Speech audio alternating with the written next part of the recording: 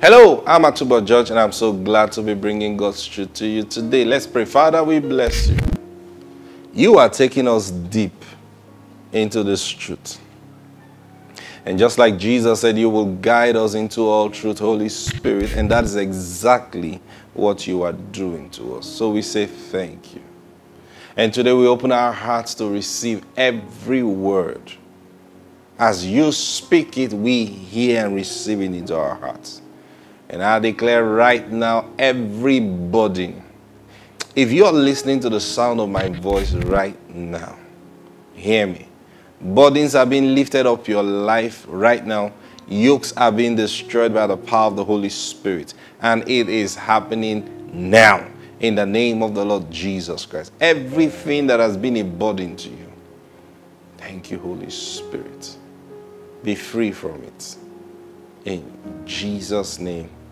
Amen. Praise God. Now, yesterday I showed you a scripture in, in Exodus chapter 23 and verse 20. It says, Behold, I send an angel before you to keep you in the way and to bring you into the place which I have prepared.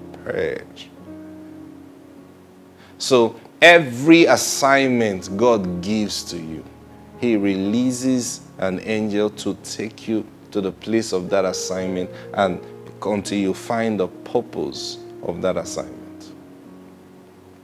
Now, I want you to understand something. The fact that you have an angel leading you, just like the children of Israel, they had an angel leading them, so they couldn't have missed their way. You think about it. Ah, you know the funny thing, like I always say, isn't it amazing that the angel of God was leading them, and the first place the angel led them to was an obstacle, the Red Sea. And they got to the Red Sea, and they didn't know what to do. So they all stayed there. Praise God. Angel didn't do anything. They didn't do anything until they saw. Now, funny enough, when, when, the, when, the, when the army of Israel began to come behind them, you know what the angel did? The angel left them from being in their front and went behind them to form a blockade for the, for the Egyptians. So he went to stop the Egyptians from coming close. Then the people he was supposed to lead were just there, not knowing what to do until the wisdom of God came to Moses. Now that is very important in your life. So I said, the fact that God have sent his angel to carry you to the place that He has ordained for you, it doesn't necessarily mean you will get there. You say, why? If an angel is carrying me, why will I miss it? The same way the children of Israel missed it. What will make the angel slow down? I will tell you this. You see, angels don't do everything. Angels work according to assignments and then they work according to promptings. They work according to instructions, they work according to promptings, and then your assignment that have been given to them. So they have a script that they are following.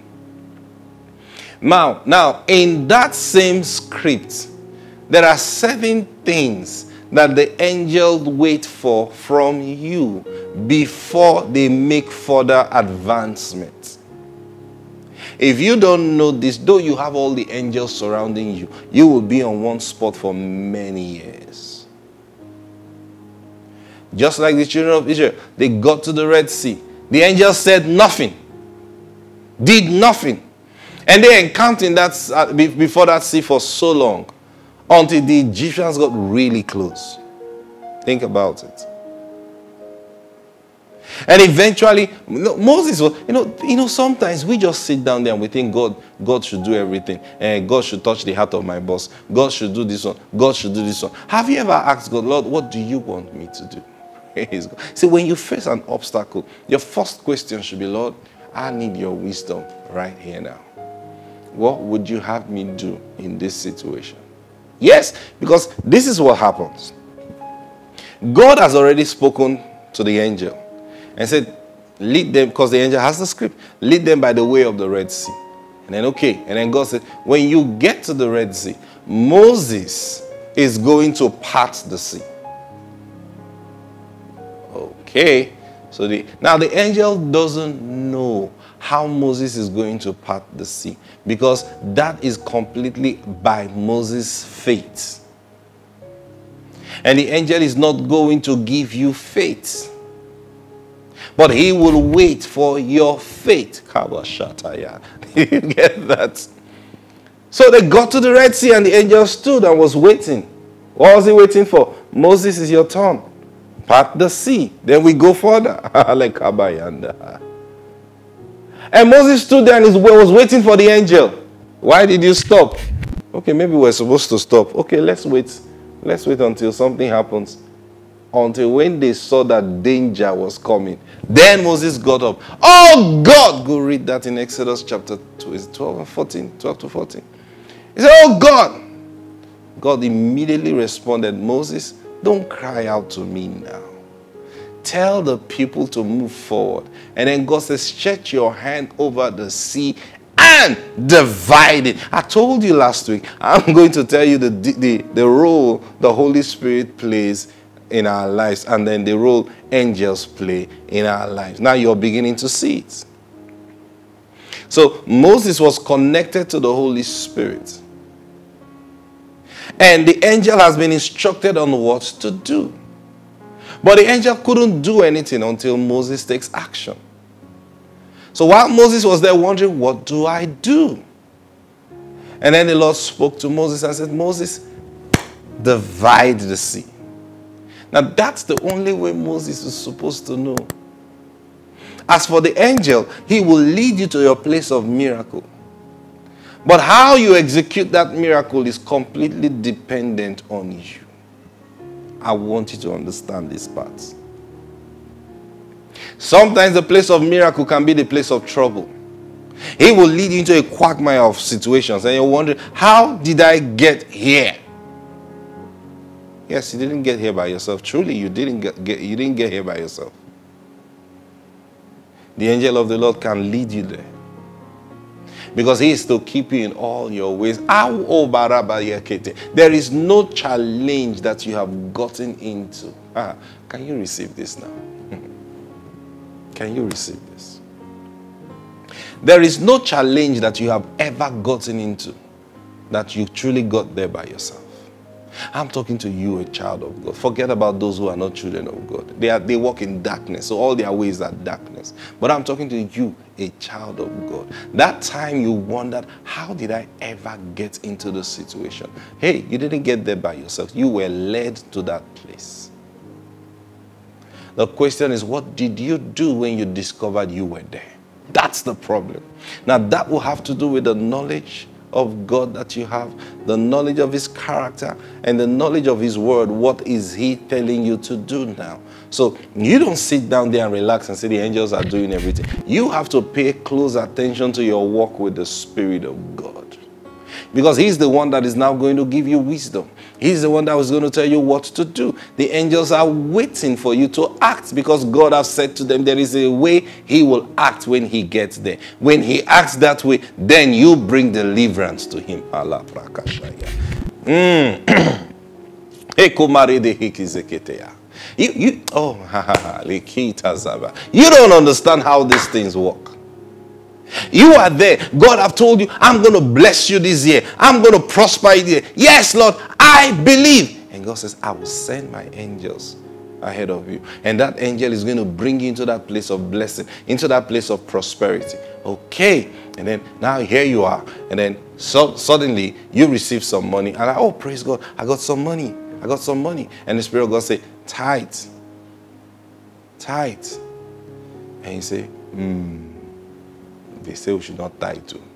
They say tithing is Old Testament.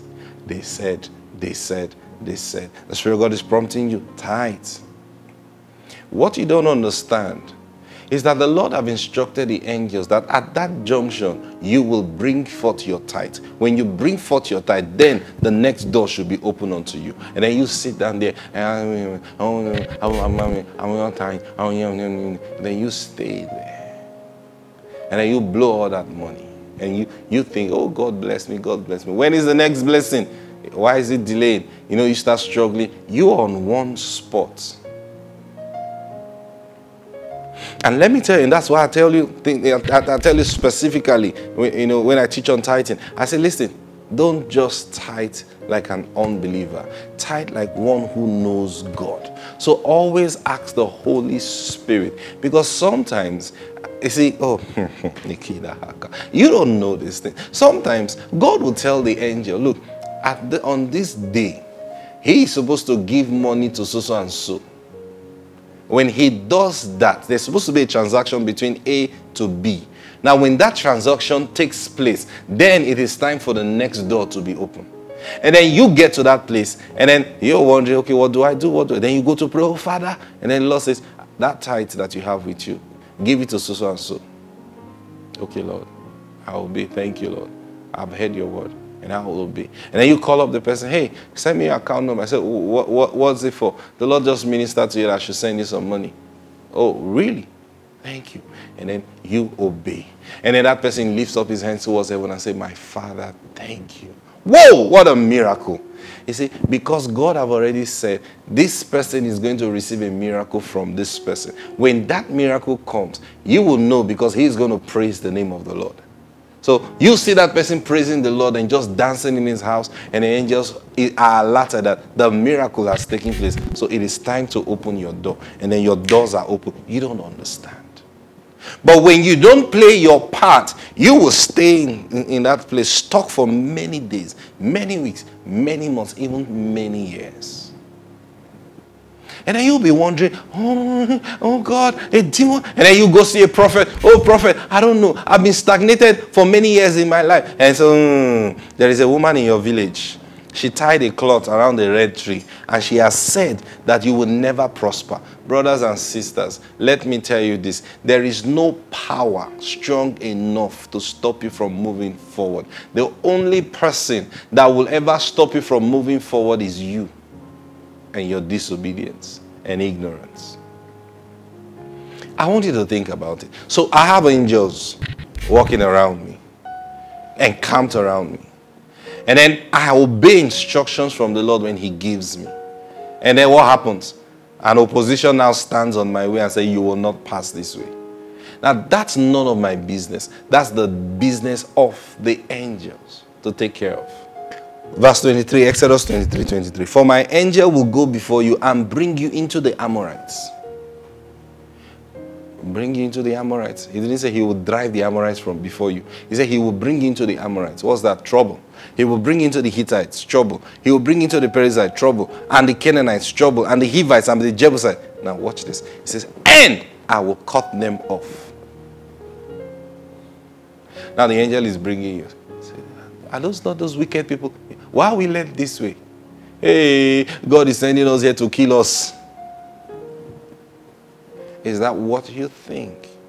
No, sir. No, sir. He is sending you there because he wants to cut them off. That's why he's bringing you there. You see that challenge that he led you to? He said, but, but God, but God, but God, but I prayed, but I, I, I prayed. Hey, calm down. What you need right now is to know, okay, Lord, I know I didn't come here by chance. So what would you have me do now? Listen, when you are faced with a big challenge, hear me, it's time for a miracle. And that miracle will only happen when you seek and receive God's wisdom. Praise God. I'm going to continue from here tomorrow because our time is up. Go out, be blessed today. In Jesus' name. See you tomorrow. Bye bye.